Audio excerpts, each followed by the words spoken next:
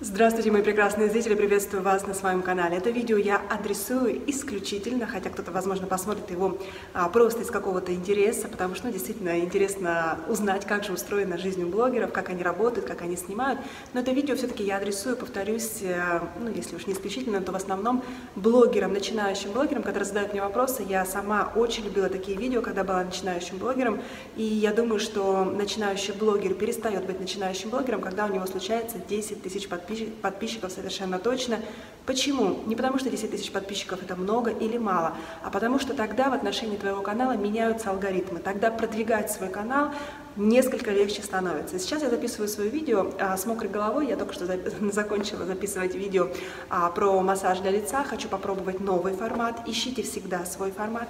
Но это видео будет о другом. Я часто получаю комментарии, вот на самом деле часто, о том, что Яна, твой канал не развивается. Ты не улучшаешь монтаж, ты не улучшаешь заставки, ты не улучшаешь превью. А, и, в общем-то, тематика этого видео действительно такова. А стоит ли улучшать превью? То есть сделать, допустим, какое-то специальное превью, яркое превью, как нам очень часто рекомендуют, либо вообще использовать стоп-кадр, об этом я скажу в этом видео. А стоит ли делать такие специальные заставочки, типа там Яна Скворцова, мода чик чик чик чик падают, ну не знаю, там цветочки, сердечки, все зависит от вашего возраста.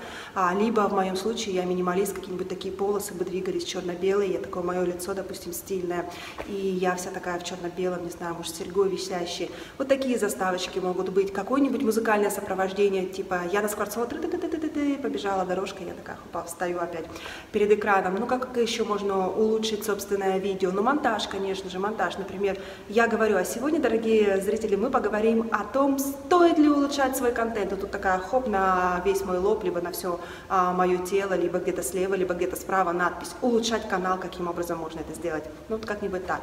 Могу вам совершенно точно сказать, когда я начала записывать канал, я прекрасно понимала, что тот продукт, который я выдаю на экран, он очень сильно отличается от того, что я вижу как зритель, то, что я люблю смотреть как зритель на самом ютубе.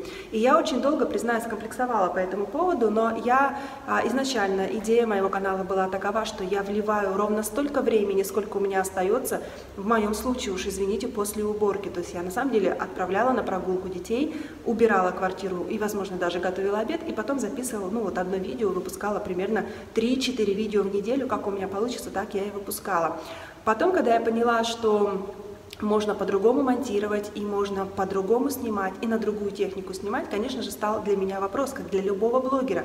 А стоит ли вливать в свой канал денежные средства, когда, а, ты еще не зарабатываешь, б, когда ты включаешь монетизацию, когда я включила монетизацию в первый месяц после монетизации, я заработала 40 долларов, даже не евро, я живу в Европе, мне нужны евро.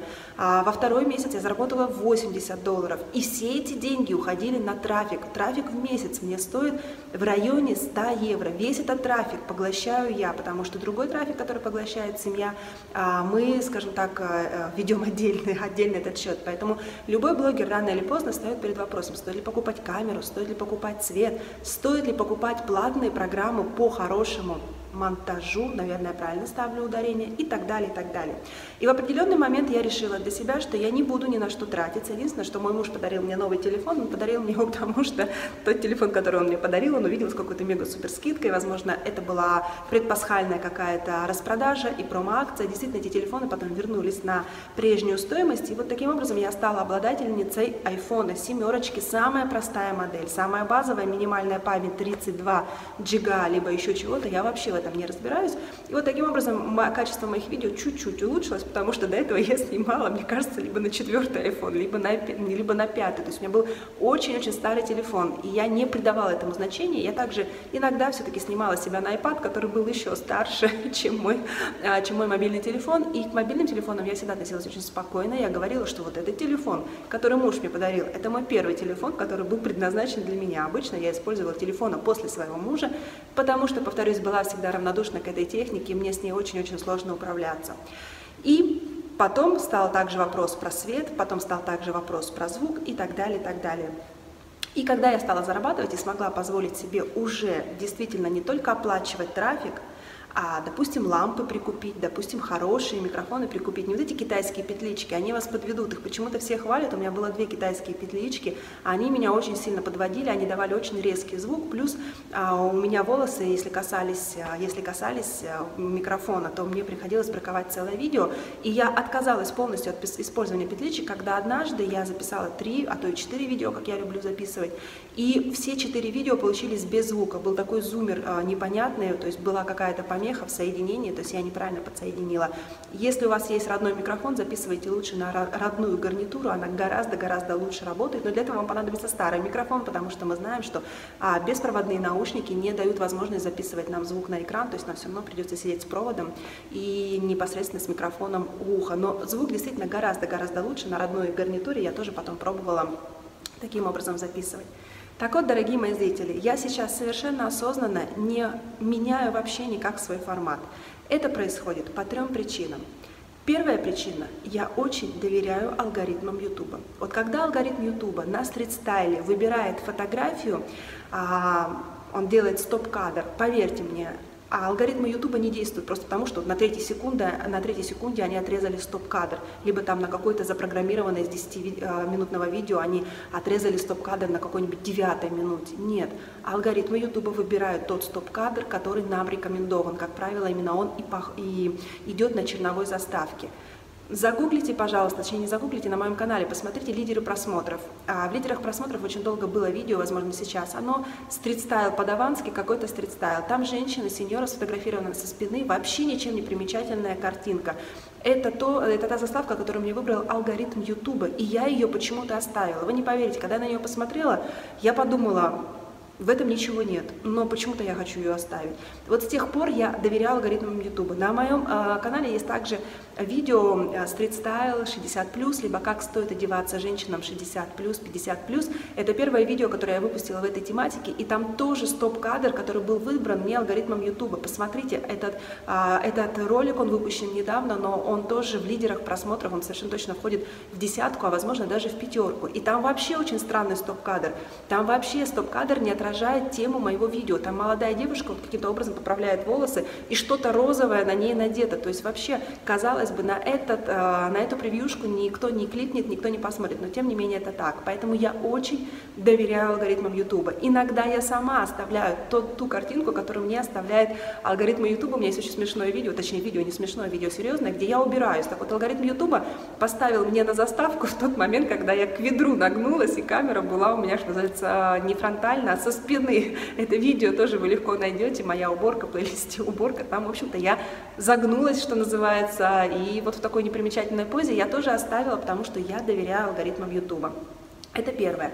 То, что касается превьюшек, э, то, что касается вот этой музыки в начале канала, то, что касается вот этой заставки с твоим именем прекрасным, и, возможно, твоей фотографии, и, возможно, я, кстати, очень хорошо отношусь к Карине Негай, но я не смотрю ее видео, потому что ну, невозможно все эти заставки пересмотреть уже просто и реклама, и заставки, и пока она делает, а, делает ввод, а бывает очень медленный интернет у меня, я всегда, когда смотрю других ютуберов, я свои видео выгружаю, но поэтому я других ютуберов в этот момент смотрю, и у меня вообще все очень медленно грузится, вот пока ты все это просмотрел, просмотрел, смотрел, пока ты дошел через подводку на суть видео, тебе уже на самом деле не хочется ничего смотреть. Я все это учла.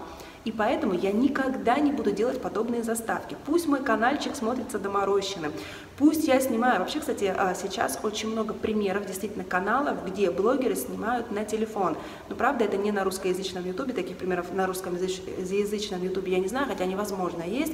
Но есть очень много каналов, миллионников, а, где блогеры начинали снимать на телефон и продолжают снимать на телефон. Как, например, я продолжаю снимать на телефон, я просто считаю, что моя семерочка принесла мне удачу. У меня канал очень быстро развивается.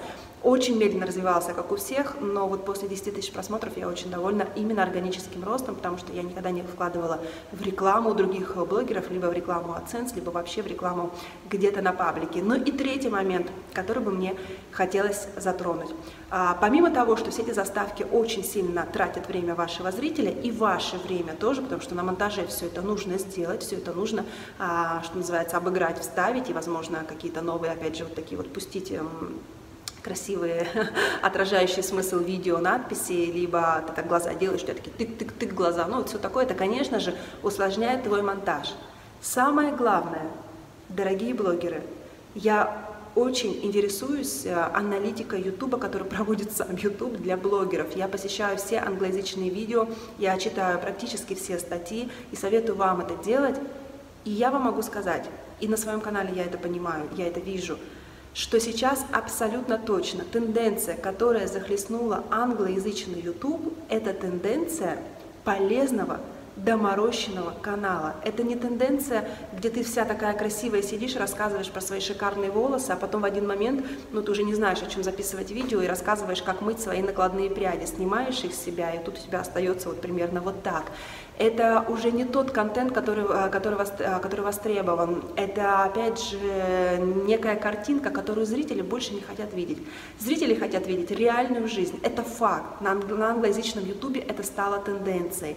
И эта тенденция перемещается также на русскоязычный ютуб, чему я очень рада. Я вообще, когда начала записывать свой канал, я поняла, что полиэстеровую одежду можно заснять так красиво, что, в общем-то, все будет конфетка. А потом зрительницы, возможно, с ограниченным бюджетом приходят в, те же самые магазины, где все это было примерено и отснято, трогают руками и думают, ну ладно, куплю, возможно, будет когда-то смотреться так же. Никогда не будет смотреться так же, потому что есть определенные хитрости съемки, есть то, что камера любит, то, что камера не любит, а в жизни это может смотреться ну, совершенно по-другому, либо хуже, либо лучше, все зависит от того, а, все зависит, в общем-то, от многих факторов. Поэтому я очень рада, что на русскоязычном э, YouTube также приходит и становится популярным, и мой канал этому подтверждение. Многие каналы, на самом деле, этому подтверждение, в том числе в таком непростом сегменте, как мода, модный контент.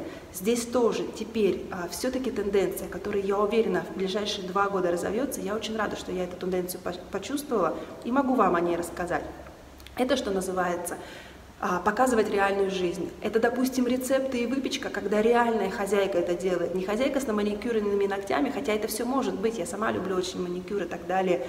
Но мы все понимаем, что изо дня в день а, выпускать а, рецепты, видео рецептов, где ты при полном макияже, при полной прическе и с накрашенным, а, с маникюром, я просто сужу по себе, у меня daily контент, да, не все все-таки так работают, не все так а, на ютубе выпускаю часто видео, но это невозможно. Зрители хотят видеть реальных хозяек, которые пекут, зрители хотят видеть реальных мам, которые а, воспитываются своими детьми, общаются со своими детьми, зрители хотят видеть реальных бьюти-блогеров, которые на своем лице показывают, как вот все это может смотреться и без прически, возможно.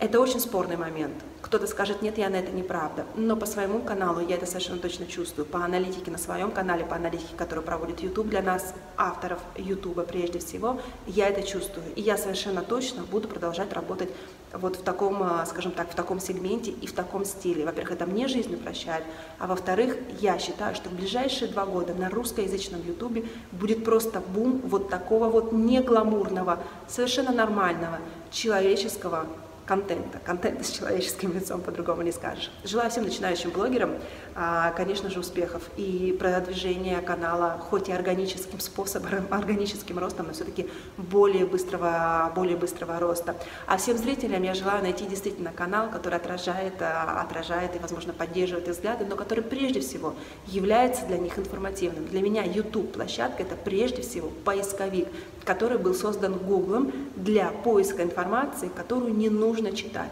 которую можно воспринимать визуально, либо которую можно просто слушать.